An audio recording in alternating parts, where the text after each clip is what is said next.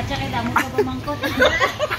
Nang, nang, may kaka... ano? Happy ang May siya. kakabalo siya nga kung dahil sa duwa, wala kwarta. nga itong naghati kayo. Gani. Buntis. Hindi pa tagay, ha? Hindi ba? Hindi, makuta ko mapa-ultrasound.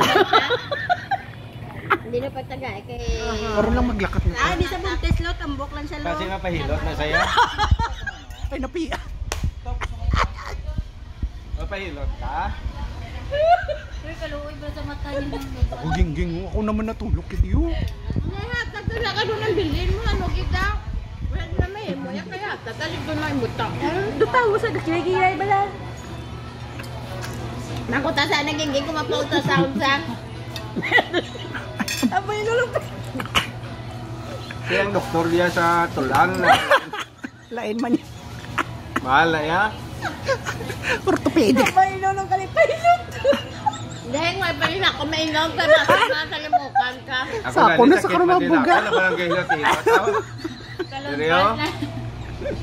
Daga tulog sa gingging. Uy, ah. Ano sa mga matugang? Ano man kami sa kay Dok man kayo? Ano? Nagkaroon. Lulo ya bot lulo.